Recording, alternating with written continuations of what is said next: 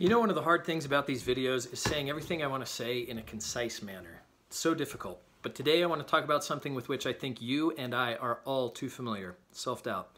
That inner critic that tells us we're not good enough, we can't do it, we're not capable enough, somebody else is smarter, somebody else knows more. Guess what?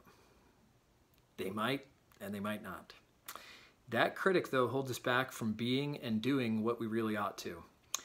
I want to give you four steps to overcome that inner critic. Uh, so the reason that I'm making this video is I was talking to one of my friends last week. I think this person is amazing. She's capable, she's smart, she's a good leader, she's got a great way of evaluating information. I value her opinion. I, simply, I think she's wonderful. I really do. And she was talking about self-doubt, and I shared some of the self-doubt that I've got. Um, so for instance, I am a speaker and a trainer, and I have trained in Fortune 500 organizations. And yet I doubt my capabilities. I doubt my abilities sometimes and think, well, I'm not as good as that person over there, or I don't have the information that that person does. And then I stop and I realize I've written a book.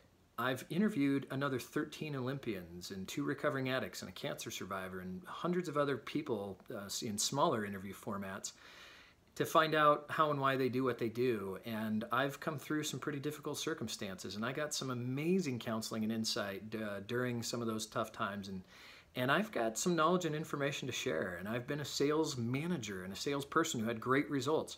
So even though we experience great things in our lives and, and we are very capable, we think, oh, compared to that other person, I'm just not there. So I want to share with you four ways to help improve your self-confidence and overcome this self-doubt because I think you are capable.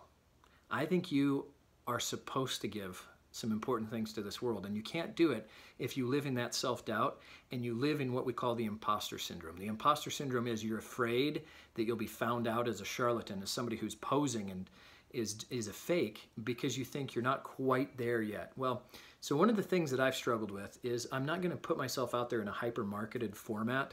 I'm not going to use these fake countdown timers or these silly webinar squeeze pages or whatever they're called. I don't even know that tell you I only have a certain number of spots left and lie to you like that. I'm not going to do it. I'm going to be authentic with you the whole way through.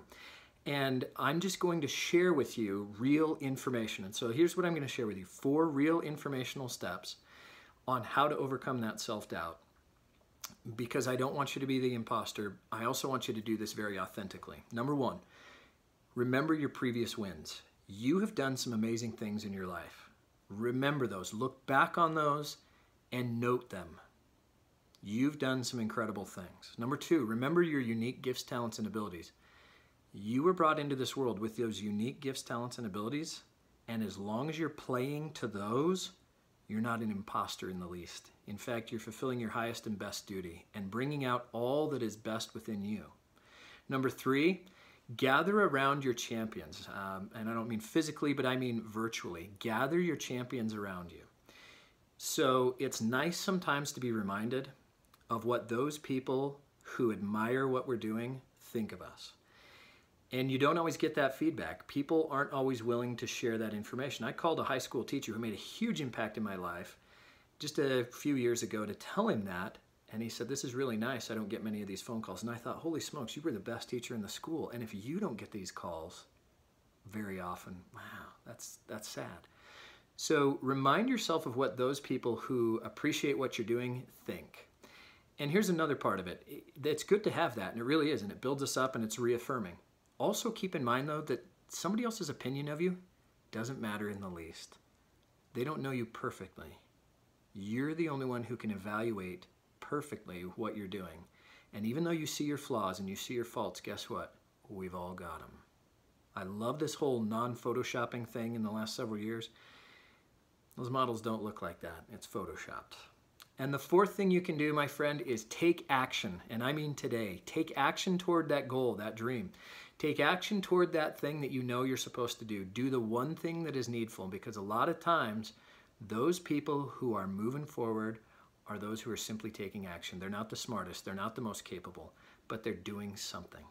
So take action today. Remind yourself of all the great things you've done, the previous wins, write them down, gather those champions around you, remember your unique gifts, and if you operate within those four, you'll be smashing it, my friend, and I hope you can overcome that self-doubt and be exactly who you're supposed to be. I hope I'll see you down the road.